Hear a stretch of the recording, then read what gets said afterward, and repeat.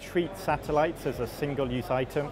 We use them once, we discard them, uh, we leave them to clutter up space and, and interfere with future space operations. So that's unsustainable. We need to do something differently.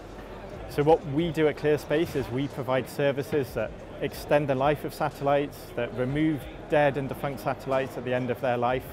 Um, we help make our space operations more sustainable.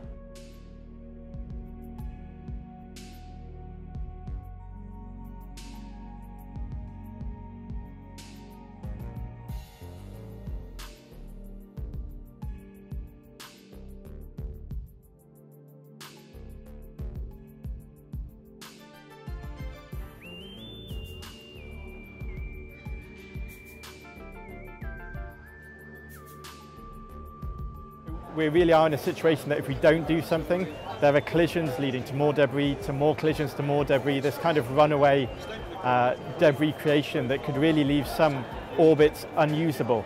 And, and imagine that we, we won't be able to rely on space like we do now because we've, we've polluted these orbits so badly.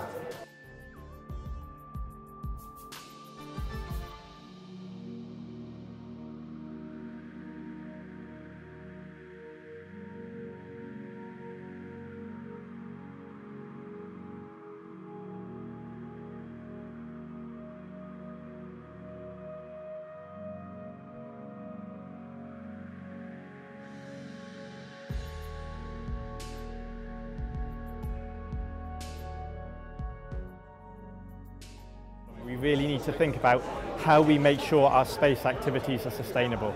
So one, one side of it is services like ours, debris removal, but the other side is when we launch things, we should think about that end of life and we should build in end of life capabilities to make sure they're not ending up as junk after they've finished their job.